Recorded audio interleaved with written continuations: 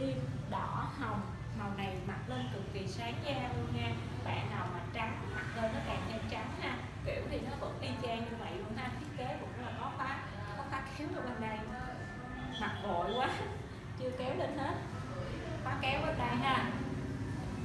Và phía sau nó thiết kế là có dây cổ để siết eo lại. Đó. Form nó là như vậy ha.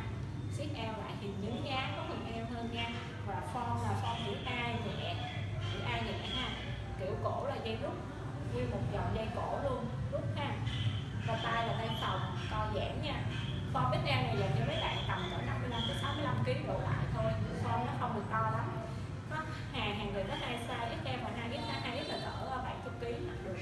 Đó cái đây là dây rút do mình à, 50 kg mình mặc cái này rộng cho nên mình rút sát lại để nó tạo độ nhúng ở đây. thì vòng một mình sẽ căng tròn hơn ha còn bạn nào thích rộng rãi thoải mái thì có thể xả dây ra thì nó mặc theo thành cổ chữ U. Để cổ thuyền nó lộ nó lộ mà. Cổ thuyền ha.